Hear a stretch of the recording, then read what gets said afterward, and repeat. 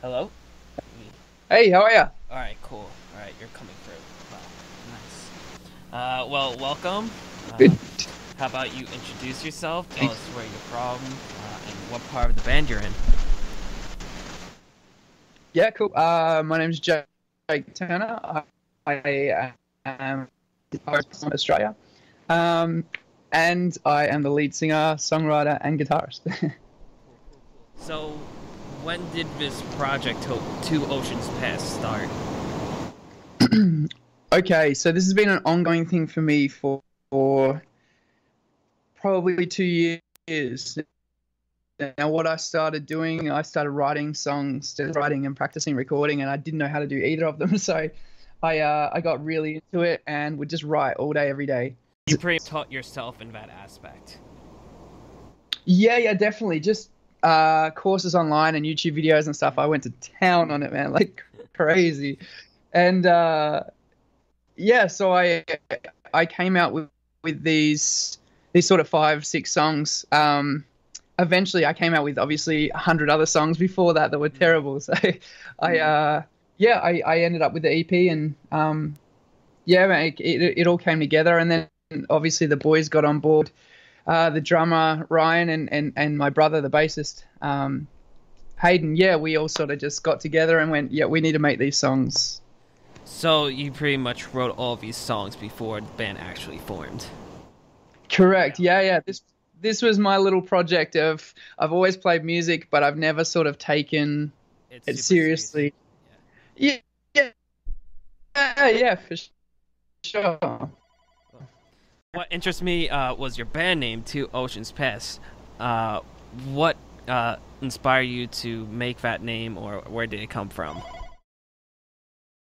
Yeah, for sure. Um, so me, well, Ryan and myself, we were we were talking after the EP was made, and we were going, okay, we like this. What sort of band names do we like? We sort of like that sort of creative. Um, I, I guess it was. Uh, I don't know. It came from we were writing lyrics and stuff, and we wrote about um, oceans and and how the two oceans pass but never meet and become one sort of thing. And and we were like, okay, that's sort of it's sort of cool as as yeah, yeah, it sounds cool. So we just went with it.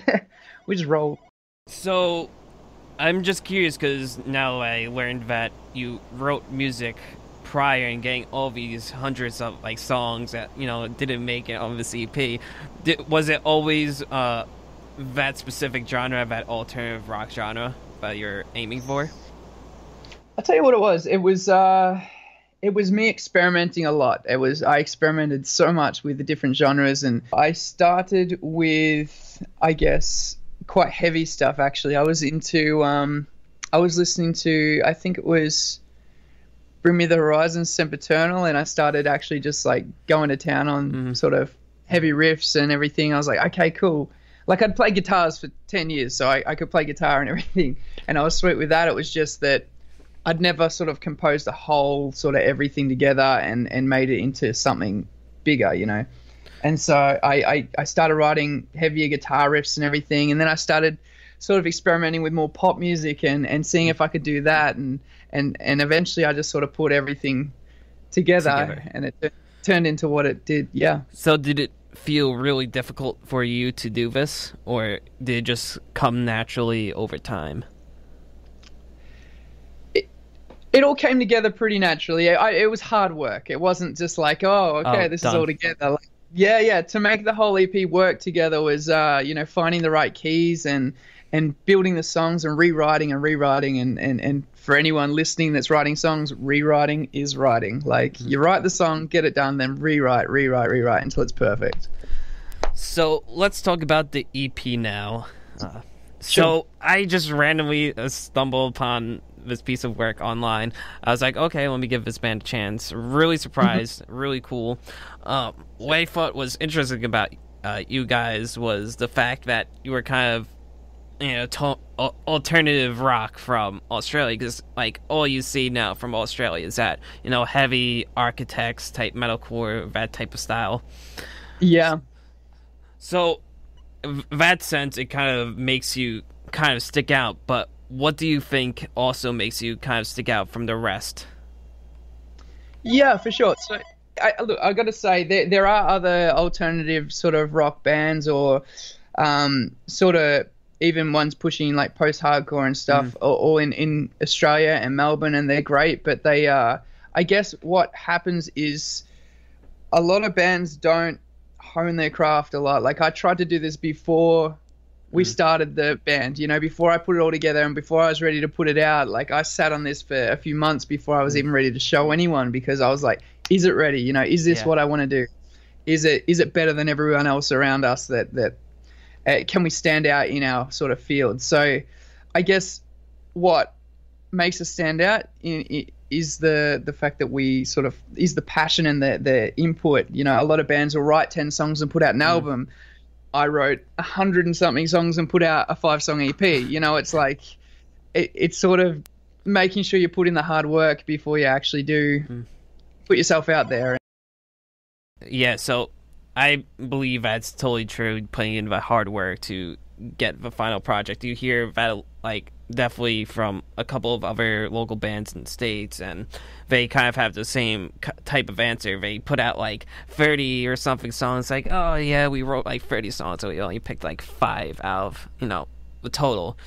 And it's yeah. kind of like crazy how much you can write, but it doesn't come to the final project because it doesn't kind of like fit together. Yeah, yeah, that's right. It it uh, it it took a while. Like I didn't that interlude bit that that ties Monster and where I want to be together. Like that that was totally. It was always planned to be there. It was just I had to wait until something mm. came that actually tied the two songs together and and and had the impact that I wanted. So. So what were some kind of background uh t- background to some songs on the album whether what what's it about or how it was made? Yeah, yeah, okay. So, all right. I I used to write songs a few years ago, just as a kid, or as a kid. Uh, in my early twenties, I used to write a lot of songs and um, just just mucking around. Uh, and I, I a few bands approached me and said, "Hey, can you write for us and stuff?" So it's not like I started from scratch for this. I, I had written previously, just never taken it seriously. So I um say like drown drown is as although it's sung about a, a girl metaphorically the mm. the girl is actually my muse and where i draw my creative side of me in that song so um, it's all about just that fighting with with you know i can't i, I got in this slump where i couldn't write mm. songs and it was just killing me because i was like i love that creative out outlet you know and um yeah so drown was completely about just something's wrong with my head. I just can't. For some reason, I can't drive. And why? Why is this side of me fighting this side of me? Like, why can't they? We just always work, you know? And so, drown. That's that's a really metaphorical song, but um, it's super deep for me. And, and I'm sure if you listen to the recording, it's like sad in my voice, like because I'm so was so sad about it at the time. And um, yeah, and I mean, like, Monster is about passion and how much I want it, you know, how much I want to do this and and um, you know, it's like I dream of flames surrounding me and all this stuff. Like I just I want it so bad, and it's just I've never done anything about it, and so now it's time to do something about it. Which was also like it ties in with um with the fact that yeah now I'm starting to take it seriously and um yeah it, it it's totally uh, the whole EP is sort of about my passion and and getting it out yeah. there. Yeah, for sure. So, uh, what I thought was interesting too, you messaged me this. You recorded this whole EP in your bedroom. Yeah. Yes. so yeah. So yeah. Sure. So, you know, like most bands, well, I guess here in the states, they usually go to a studio. But was it hard to pretty much produce, mix all by yourself? It took me a year of, of really studying that side of things. I'd never, re- I'd recorded just some like put up a mic and record acoustic guitar and singing at the same time sort of thing, but I'd never got into recording. So what did I do? I went out and bought a heap of gear and just went, okay, what's the minimum I need to get the maximum quality for the least amount of cost? Like, so I ended up spending about 10 grand on gear, unfortunately, but I had to to just get that professional mm. sound and in my bedroom and, and that's yeah i just went to town on it just by myself all day every day recording working on guitar tones for a week straight, 12 hour days, you know, working on, I just was doing it, you know, so the drums was super hard to do myself. Mm. But, um, yeah, eventually I just but it got it all coming to... up really well. Yeah, yeah, to, to make it sound like it did. I mean, in my previous band, we paid, I think it was three grand to record one single, Jeez. right? And, uh, yeah. it wasn't, wasn't right. worth it. The song wasn't even very good, right? And, and so I was just like, okay, we did that in my last band. If I just spend that money on gear, I can then record for free for the rest of the time. Mm. That is is is the same quality. So I was like, okay, I'm just gonna learn it, and and that's what I did. And all of his hard work became uh, worth it because now you know you're getting radio play. You just uh, last night got airtime on Triple J, which is Australia's biggest radio. Uh, yeah, yeah incredible, right? Especially sitting here listening to my song that I recorded in my bedroom. played played with all these songs from these massive artists mm. and and it just it's it's it stood up. It was just there, you know, and I was like this sounds great. I love it. So, what are some plans to pretty much keep marking your band and show yourself to the rest of the world? Yeah, so I don't know if you've noticed, but our social media has been pretty quiet. Um, we, I tell you what, that side of things, I'm still sort of learning, but I'm, mm. I'm kind of got my head around uh, now, and we'll start posting a, more, a lot more updates and what we're doing and, and videos and stuff. We um we went we just last night while we were on the radio, we were actually planning out at the same time our social media strategy and everything, and it's it's it's hard, but it's a crucial sort of part of it, like keeping people informed on what you're doing. Otherwise, you just sort of disappear. So, I mean, we've been writing every day. We've been recording new tracks and demos and stuff, trying to get the next release done. And we've planned out two video clips, and mm. we're, you know, we we are going to town on it. It's just, um, we're just time. hard workers. Yeah, we're hard workers behind the scenes. It's very hard to do all that, then plus document everything and show everyone and and not get lost on that side of things. So, Is there plans yeah. for like merch, physicals of for the EP for the band? Uh okay, so with merch, we've got a guy designing our merch at the moment. We um we've had a few designs so far that we just again I just I need it to be right, you know. Perfect. It's yeah, yeah. I need it to be something that I would sort of wear or I would buy myself and and if I go oh, I'd probably see that at a gig and pass. Mm. Then I'm not I'm not doing it. So yeah, it's um it's hundred percent it's sort of business for us rather than a band. We really want to make and it grow. Kind of a correct answer because music scene today being so condensed and so many different artists, it becomes pretty much a business. Hundred percent, and and and we need to support ourselves somehow. We can't work full time and put our, all our money into the band and and and just watch it disappear. And, and you know, it, it needs to be something that we can sort of grow and, and make, you know, bring everyone in on rather than just trying to be us and just trying to push through everyone. You know. Is there plans for you guys to start playing shows to tour around Australia? Uh, yeah, yeah, for sure, for sure. We we uh we're getting our live show together at the moment because it's been me, the drummer Ryan, and my brother Hayden on the bass. It's um, it's been a three piece. So mm. we have played a show before. We had just two guitarists come in, and I just jumped around as a front man, and it was really good fun. But they they weren't the sort of permanent member types um, we really need like hardworking people. So mm. we are still trying to get a full lineup. We've had so many people sort of ask us about it and stuff, and, and we sort of again sort of picky on who we bring into a business. You know, it's yeah, like yeah.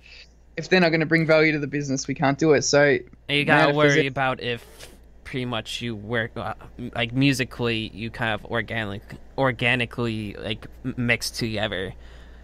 Yeah, it, it is a part of it. It's just, I guess, more our headspace and our hard work and, and everything. I don't want someone to come in and just jump on the train and get pulled along for the ride. Mm. I want them to go, yeah, let's make this train faster. You know, let's push this thing to its limits. And and that's that's the sort of headspace I want. There's a lot of people out there that can play play power chords on guitar. It's just I I need someone that can think the right way. And so um yeah, we we have we've got a guy in Melbourne learning the songs and um and he's he's sort of already got onto designing our merch for us and like doing all this stuff for us. So we're like, okay, cool. He might be the right guy. So we'll just we'll go from here and see what happens. But yeah. Well, I want to thank you for coming on air. We have to end, so I know you had to wake up super early. I think it was like six forty something up in Australia yeah, yeah. AM. So uh, before we sh- end the Skype, uh, where can people find you on social media to keep up to date with the band? Yeah, cool. So it's everything Two Oceans Pass. So our website, twooceanspass.com, and you can find all our updates on there. We've got um, obviously Facebook, we've got Snapchat, we've got we've got everything. So we, we're gonna we'll go to town on that stuff soon. All right. Well, good luck for you guys in the future. Can't wait to hear more stuff. Have a nice. Thanks day. for having me. Cheers, man. Bye.